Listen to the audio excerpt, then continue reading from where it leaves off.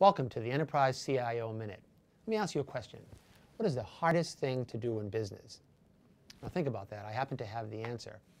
And it came to me through the former CEO of Unisys, Jim Unruh, probably 20 years ago when we were sitting in his office talking about the collapse of the mini computer business. And we, and we were talking about the, the brilliant men that started the mini computer companies. Ken Olsen from Digital, uh, An Wang from Wang Labs, Joe Henson from Prime Computer, uh, Edson DeCastro from Data General. Brilliant people.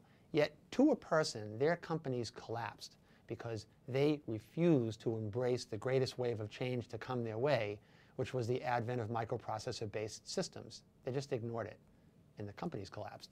Now, Microsoft almost collapsed in the mid-90s because it chose to ignore the internet to a point.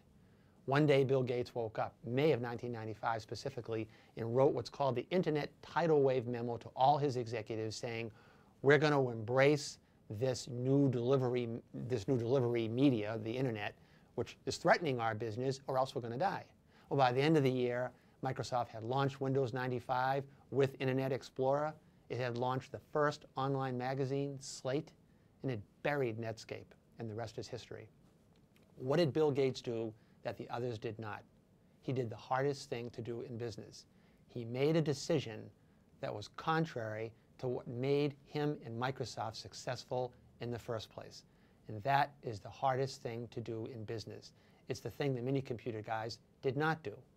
And for CIOs, just remember this the next time there are truly big decisions looming in your theater of operations. Thank you for joining me in this Enterprise CIO Minute. I'm Bill Laberis.